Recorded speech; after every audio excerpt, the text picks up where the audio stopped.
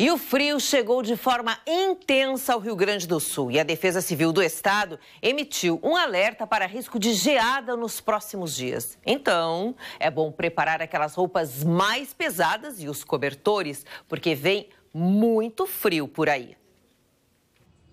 Na rua dá para sentir o vento gelado batendo no rosto.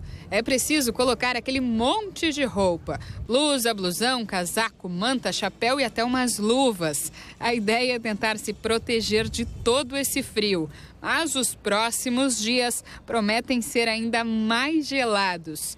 E o que fazer? É uma roupa acima da outra, depois tu tira, vai tirando, vai recolocando. É que a gauchada está acostumada a fazer, né? Então, é, tem que se agasalhar. Tá frio, né?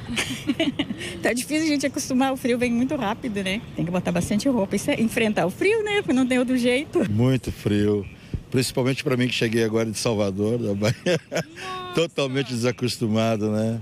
Como é que vai fazer para se proteger? Porque vem uma nova onda de frio agora. Não, mas já, já proclamei aí a campanha do agasalho aí, os parentes aí já estão se reunindo aí, trazendo aí roupa para mim e para minha esposa aí, que chegamos totalmente desprevenidos, né? É bom juntar os casacos mesmo. As temperaturas estão despencando e o frio será generalizado. A gente tem uma grande possibilidade da incidência de geada uh, em grande parte do estado do Rio Grande do Sul, ou praticamente em todo, é, provavelmente na quinta e na sexta-feira de manhã bem cedo. Né? Então, a geada geralmente é um resultado de uma noite muito fria, com tempo seco já né, e com intensidade de vento muito baixa. Né? Então, esses prognósticos nos apontam para essa situação. O que a gente recomenda? Né? Porque o alerta da Defesa Civil?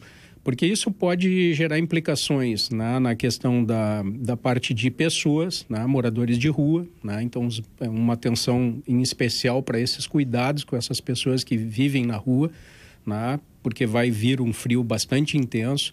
A questão da própria agricultura, né, a tendência é de cristalização da, da, do orvalho da noite nos vegetais, então hortifruti, granjeiros, né, a própria pastagem dos animais pode ser afetada com uma geada bastante intensa. Já na próxima semana, as temperaturas sobem um pouquinho e a chuva retorna ao estado.